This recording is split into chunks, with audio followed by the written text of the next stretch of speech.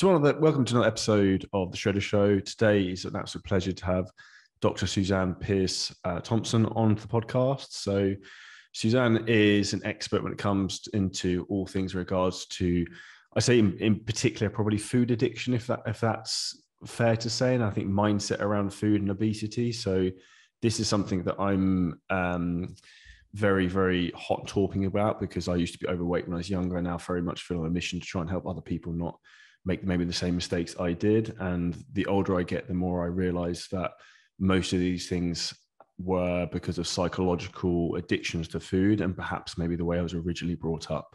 So, uh, welcome onto the podcast. Thanks, Charlie. It's great to be here. Um, so, initially, obviously, the first thing I already on the hit off the bat already was talking about the relationship psychology between uh, obviously your mind and getting addicted to food. What first led you down that rabbit hole, and do you think people are becoming more aware of that now? Um, well, what led me down it was my own food addiction. Um, I was probably addicted to food as a kid, um, almost for sure. Um, and I, I, developed a little bit of a weight problem. But um, when I got into high school, when I was 14, uh, I started doing drugs, and that that helped me manage my weight. It was also fun. I was partying, and I got quite addicted to the drugs, unfortunately, and they escalated to worse drugs and worse drugs. So speed, crystal meth, and then cocaine, crack cocaine. I dropped out of high school. Um, and all through that time, um, my weight was fairly well managed because those stimulants will really take the weight off you and make you not want to eat. But um, I got clean and sober when I was 20. Um, very grateful for that. I haven't had a drink or a drug in 27 years. Um, but at that point, my brain was primed for addiction, and the addiction just hopscotched right from drugs over to food. So at that point, I, I packed on weight fast, and I was obese by my mid 20s. Um, and I, you know, I think what what happened for me, Charlie, is because I had just recently been in the grips of really bad addiction to crack cocaine, where I was I was prostituting out on the streets at night and then going into the crack house to smoke it all up and spending a few days in the crack house until I ran out of money and then going out to prostitute again. And I had I was in this addictive loop where I I really experienced the depths of addiction. And then just a year later, when I was doing essentially the same thing with food, minus the prostitution bit, because food wasn't that expensive, but I was I was binging late into the night and kind of going out to smoke a cigarette, coming in, you know, eating more pasta, more cookie dough, more English muffins, more candy bars. And then I'd go out to smoke a cigarette. I'd come back in and I'm watching TV and eating like this. And at some point, uh, it didn't take long for it to dawn on me I'm not eating, I'm using. I am using. This is, this is like drugs. And um, so I was 21 when I knew that I was a food addict. And I think because my story is so extreme, um, you know, I I kind of got the these foods are drugs kind of parallel really fast. Not not um, a metaphor not um, you know a, a, an analogy but like literally drugs. The sugar and the flour in our food supply are drugs. And so i do think people are getting more open to um, hearing about food addiction. I think it's becoming kind of, uh, I think it's bordering on common knowledge where we've got a little bit of a headwind with some folks who say that food food isn't addictive food can't be addictive we've got like counselors and stuff who treat people for eating disorders who don't like the idea of people having food rules so they don't like to think of food as addictive because then people are going to talk about abstaining from sugar which um, frankly is a good idea so um, you get some resistance there, but I think most people are getting uh, comfortable with the with the reality that food is truly addictive. I think anyone who doesn't think anything is addictive is incredibly naive because anything can be addictive, like sex, traveling, money, uh, power, what, like whatever it is. Like people can go down different rabbit holes of addiction, and then people often swap one form of addiction for another form of addiction. So they might swap um, I don't know, their unhappiness with food, they might then plow that into work to try and get addicted to that, get themselves distracted from that. Or I, I, think people need to be very aware of that. I think that's probably the key thing most people lack is self awareness, I'd guess.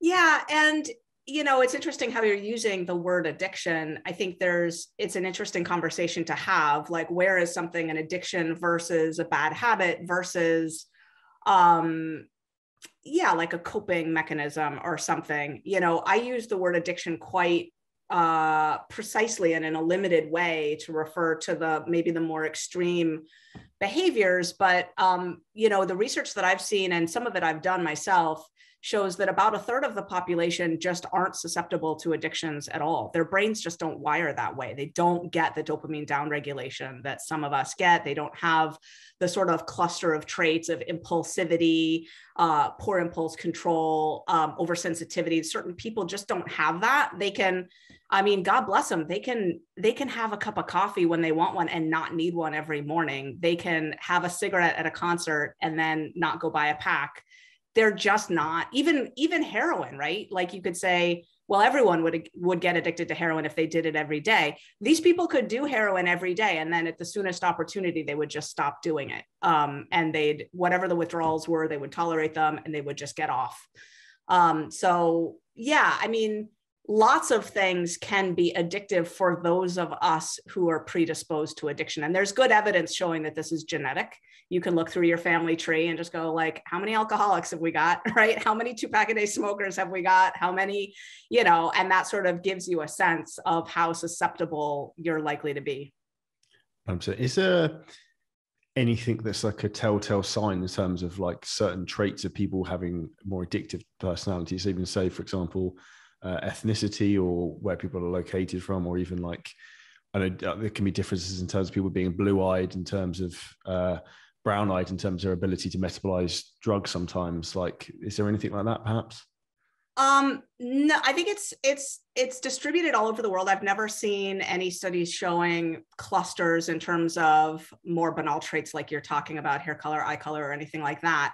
Uh, it does correlate with certain personality traits, um, in particular, uh, poor impulse control and uh, a struggle with delaying gratification, um, and um, cue reactivity, which means like the um, you know, like squirrel, you know, like um and and also there's a little bit of an emotional sensitivity, right? Like a um uh taking things too personally, shall we say. Um, right? Uh tenderness in that way.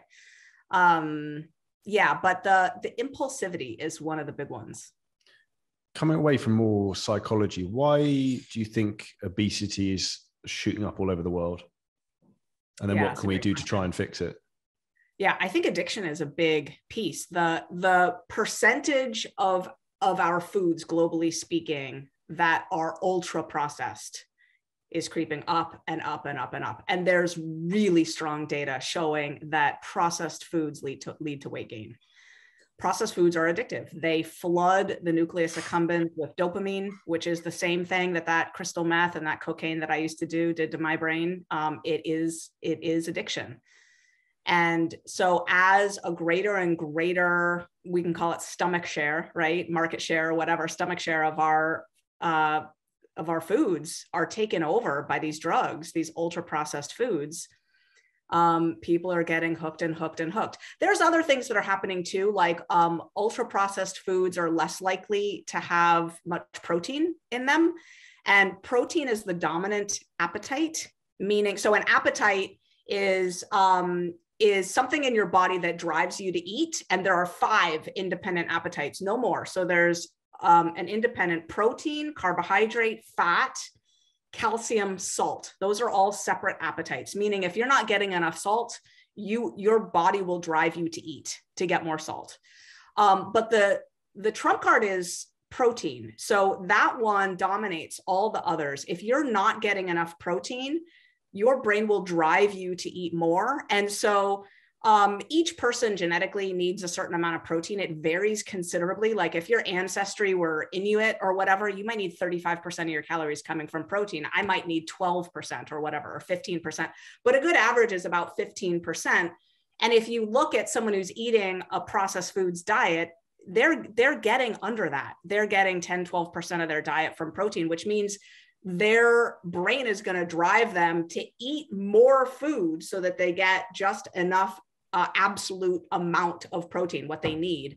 Um, and actually, someone did the research to show, just crunched the data to show that that extra food amount that we're needing is exactly enough to account for the obesity epidemic, just the much extra that we're needing to eat to get enough protein in the midst of our processed food diet. So I think processed foods are driving the obesity epidemic. I, there's other factors. I think um, the dissolving of, of meal structure, right? People aren't eating breakfast, lunch, and dinner the way they used to. And that's problematic for all kinds of reasons. Eating around the clock is associated with weight gain, right? You need a good fasting window. So there's there's factors like that that I think are in play as well. People are more sedentary, blah, blah, blah. Um, but I think the composition of our food supply is one of the driving factors. I would agree with that massively. And one of the things that, uh, as soon as you said that, came into my mind I was incredibly shocked the first time I went to Texas. I went to Houston and I went to Walmart and I asked, uh, where are the vegetables and like fresh food? And like, oh, we don't serve, we don't sell that here. And I was like, yeah. how can you have a supermarket that doesn't sell that? I was like, so you only sell crisps and soda? And they were like, yeah. yeah. I was like, yeah. Uh, like, yeah. I was, and I was like literally like dumbfounded. Yeah. Captain Crunch, you can get that over there. But yeah, no apples here. No apple. We don't eat apples at Walmart in Houston.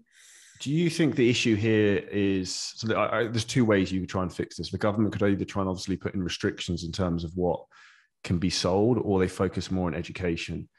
Uh, education is obviously the answer, but do you think they're actually that that anyone will ever actually do that? Because obviously, from a I don't know from a financial point of view, if it works for all of the big companies, if you know what I mean.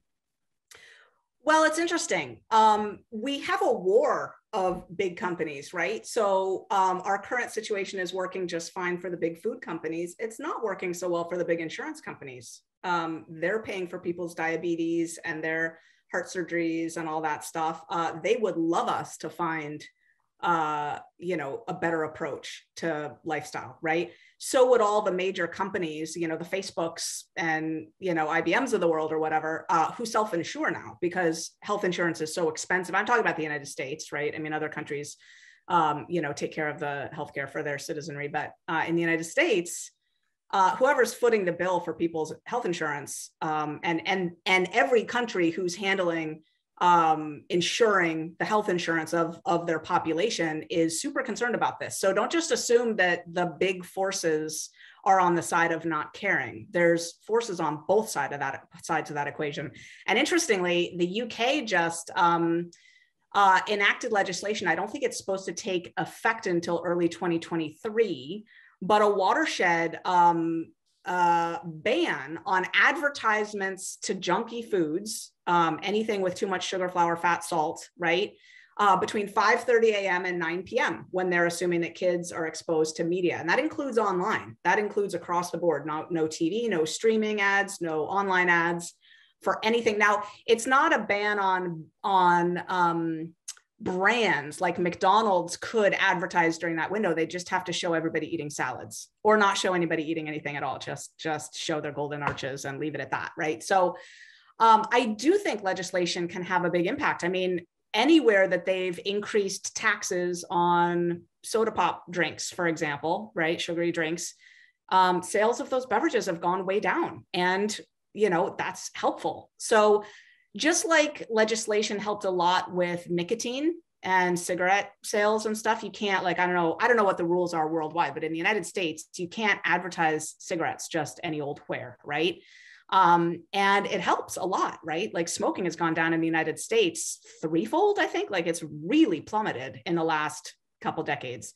So i do think legislation can help and i think that people getting clear that that this is an addiction that that this, that these companies are clear that they're addicting us they know it they're actually using fMRI machines to track their ads and their snack food concoctions to make sure that the formulation hits the addictive centers of the brain just right. They'll compare two different commercials or two different snack formulations, the taste of them, and then look in the brain to say, does this like just just blow it up, just light it up perfectly um, before they put it to market? So they know what they're doing.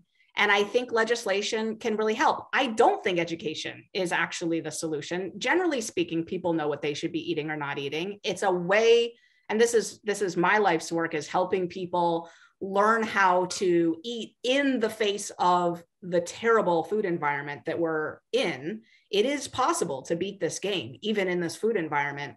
Um, but it takes a lot of um, know how and a lot of effort. And education isn't really the thing Um, people know they should be eating blueberries and not pizza. They know, and it's it's not helping.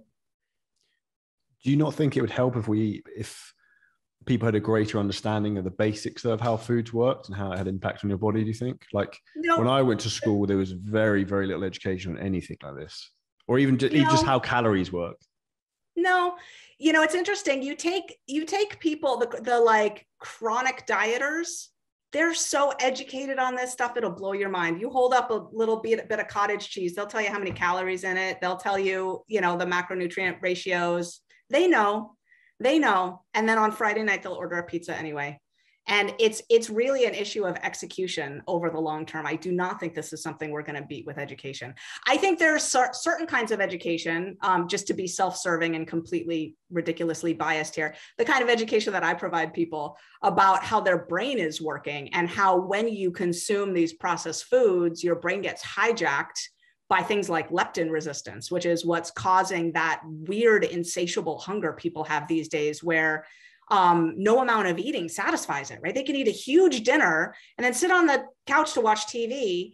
And now they want a bag of chips. And then they eat the whole bag of chips. And now they think they need some ice cream from the freezer and it's like if they if they ask their stomach they're not hungry right there, there's no uh, as a matter of fact they they're full and they can feel that they're full but the elbow wants to bend the mouth wants to chew like there's this insatiable hunger that's happening in the brain and it does help when you explain to people that's because of leptin resistance leptin is the hormone that tells your brain you're done eating and you're never going to get that signal until you get your insulin levels down, right? So it does help to teach people that a little bit. Um, mostly to help them understand that it's not their fault that their brains have been hijacked and they could never lose weight in the circumstances that they've been in. Um, I think it does help to teach people that for some people, a bright line rule against sugar and flour is going to be way more helpful than trying to moderate it. You know, that you're never going to eat cookies successfully um, and and moderately, right? Like just just give them up. I think that helps, and I think our society isn't aware of that. The vast majority of people are not aware. They think that you know quitting sugar entirely is restrictive and extreme, and so I think there are certain kinds of education that will help, but I don't think basic nutrition information is going to help the the masses of people lose weight at all. Honestly. Here's an interesting one. Why do you think these people don't actually want? So like I think about this a lot. I want to help everyone, but like I see people who are super overweight, who like you know you're taking tens of years of your life. You're not going to live a long time. How can you make these people wake up and realize that like they're literally could be cutting their life in half? I, I, I don't know what you have to do is like throw a bucket of ice water over their face and be like, "This is the situation. You need to deal with this." I don't know yeah. how much more like harsh you need to be with these people sometimes. And I think we live in a world where you're almost not allowed to be like that now because we're too worried about upsetting people. Where sometimes like people will only change if something really bad happens, like they end up having a heart attack, they survive, and like, okay, now I actually need to take this seriously. Yeah, even then. So here's a shocking statistic. I think I have this number right. 130,000 people, is it 130,000 or 180,000, will have a leg amputated in the United States this year because of their type 2 diabetes. 130,000. Okay. Yes. I think it's 130,000. Yes. Leg amputated this year. Now, here's the shocking stat. That wasn't it. the shocking stat is 55% of them will have to have their second leg amputated within two years after that first surgery. So, good luck with that bucket of ice water. I don't know how much more extreme you can get, you know, sawing off someone's leg. They knew that one was coming, right?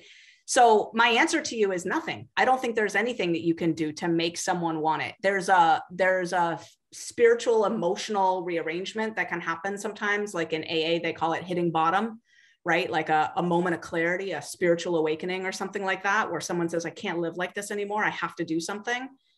Um I have never seen any way to manufacture that for someone. It sometimes really bad news will do it, a diagnosis of some kind and then other times it won't it's it's really bizarre you know you can you can tell somebody anything you can say okay you're going to have to have open heart surgery on monday and they're like okay you know and and they're waiting for the surgery eating the pancakes that they're serving them in the hospital right like that's the irony though right it's just right? like Yeah, and their spouse is like, "Sweetie, I'll be down in a second. I'm going to go down to the the cafeteria," and they're eating McDonald's in the cafeteria, right? Like, don't get me started. But I don't think there's anything really that you can do. What I do is I try to make sure that anyone who wants a roadmap that works will have access to one.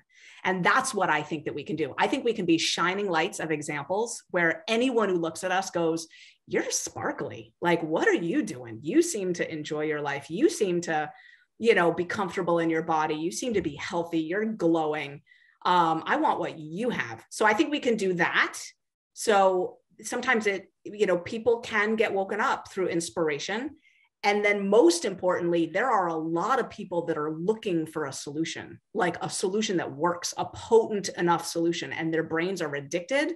And I want them to find a solution when when they look. People are praying in the fetal position right now, crying, saying, "I cannot stop eating. I just ate ate my second full pint of ice cream. What is wrong with me?" and i want i want them to have an answer to their prayers i actually it's not that i don't care about the people who don't want it it's more that i respect their choice if they're going to be like nah man i just want to you know eat nachos and drink beer and and watch the fight the game you know like that's what i want to do and i don't really and i'm smoking my cigarettes too and i don't really I was about care. to say smoking's like, the same thing like that's the most proven and drinking to be fair like you you yeah. know it's killing you but yet you're still doing it. So it's yeah. Well i mean you know and they could look you in the eye and say dude life is fatal. You're not getting out of here yeah, alive no, either, right? So it's like you know pick your pick your pick your poison pick your right? So um i will say it's hard to live in this current food environment um and swim upstream against the grain. And i don't i don't begrudge anybody who decides that they don't want to do it that they'd rather take their comfort along the way dude, that's your choice. But I'm here to help the people who really want want a solution and have not been able to find one. I agree massively. My only thing is when people complain that they they can't, is that there's plenty of people like you, like me, who want to help these people. Um, a, a, good question for you: How how do you think social media has uh, affected, impacted the situation? Oh,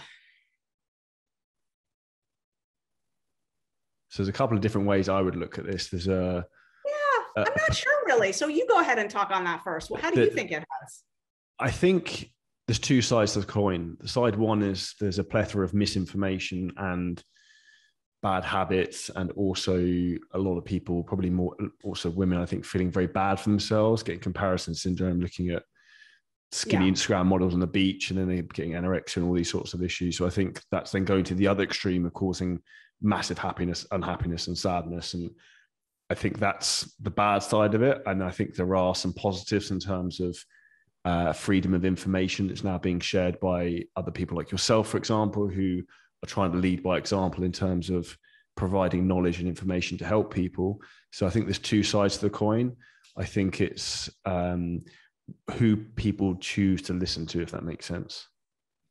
Yeah, I super agree with the comparison syndrome. And um, there's a lot of toxicity out there on social media. And I think I think one of the other things it's done is it's just um, upped the sort of distraction level enough that everything just gets fuzzier and fuzzier where it's like you know just like i was talking about a, a, fasting window before for food our brains need that too you know and what social media has done is it's gobbled up all of our downtime mentally you know just some space. Um you know so if you don't again it's like you got to get really proactive to be mentally healthy in that climate. You've got to you know plug in your phone somewhere you don't sleep. You've got to develop a meditation practice. You know you've got to do things actively um, to keep yourself mentally healthy.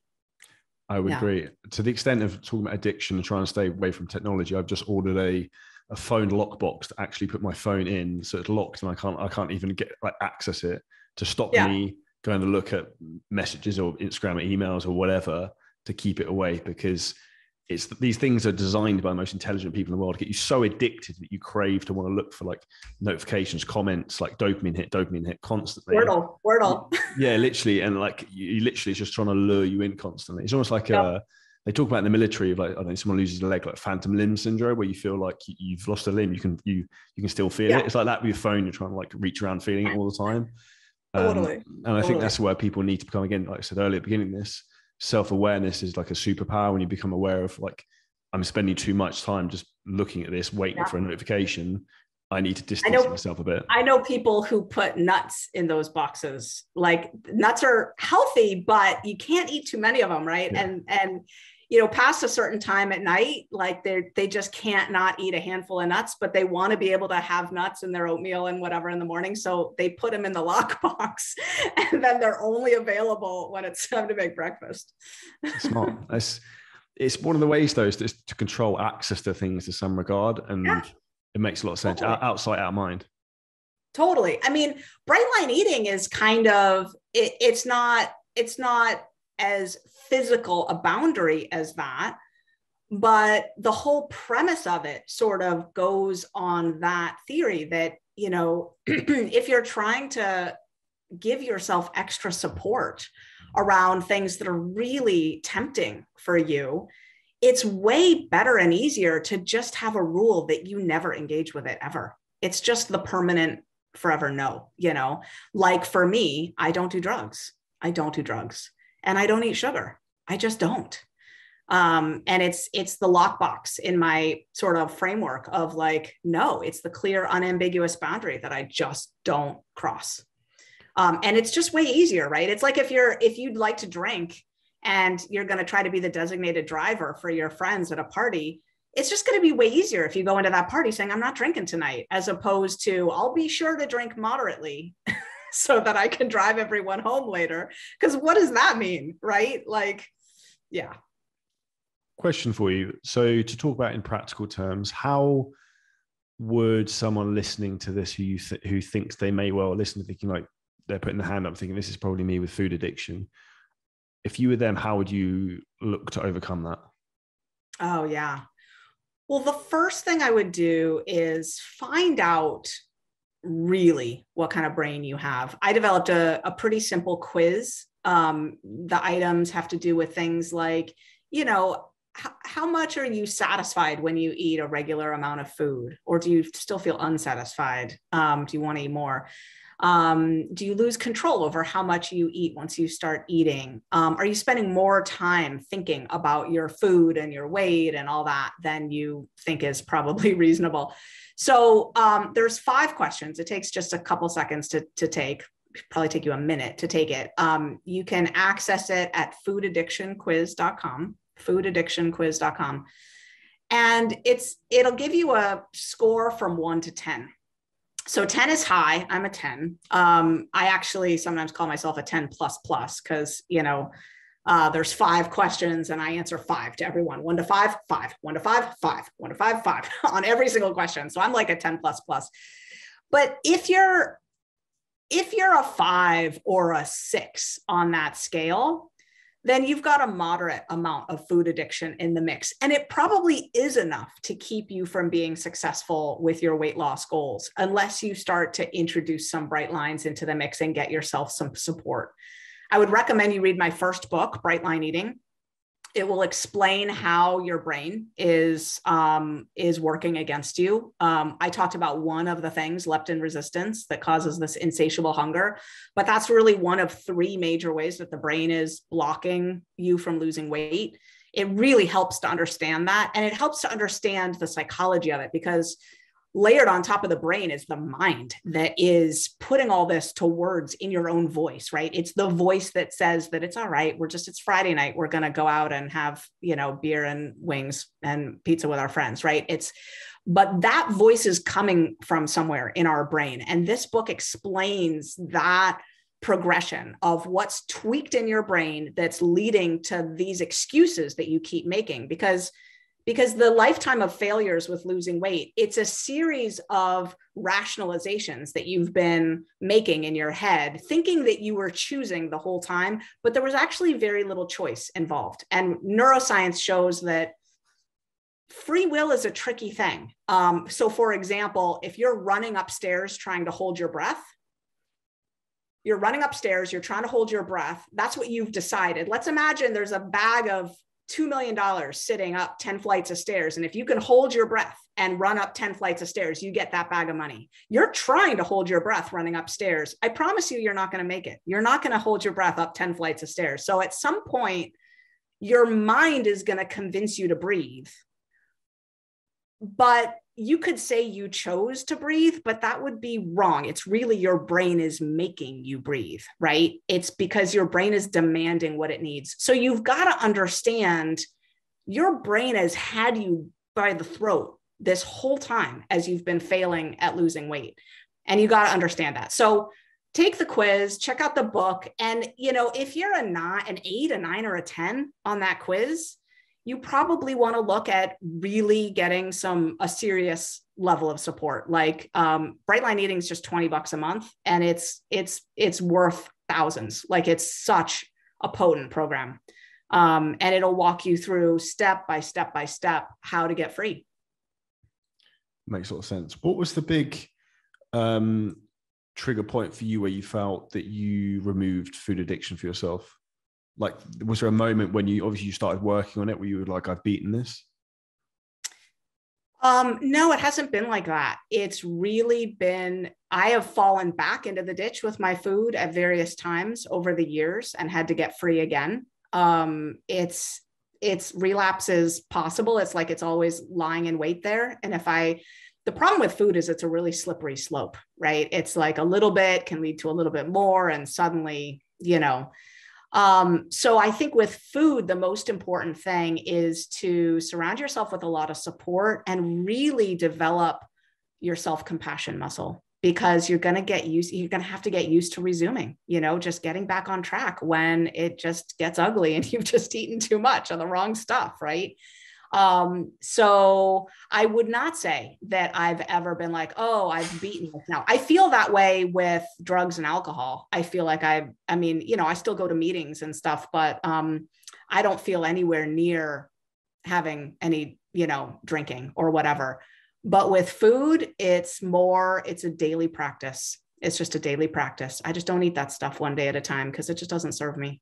The same as uh I say to our clients and just people in general, like about exercising, training, eating healthy, like it just doesn't stop because yeah, it does. This is a lifestyle. This is forever until you die. Like yeah, when it stops, you die. That's basically it. Like yeah, you have to. You got to become someone who just does this. Yeah. You know, and that's why um, we call our members bright lifers bright lifers, right? Here, we're just here doing this one day at a time. And it really also, when people come in with a lot of weight to lose, it removes the like urgency around it. Like it, it doesn't matter when that weight comes off. You know, it could take six months, it could take three years. So what? You know, you're just doing this every day anyway, you know? Um, yeah.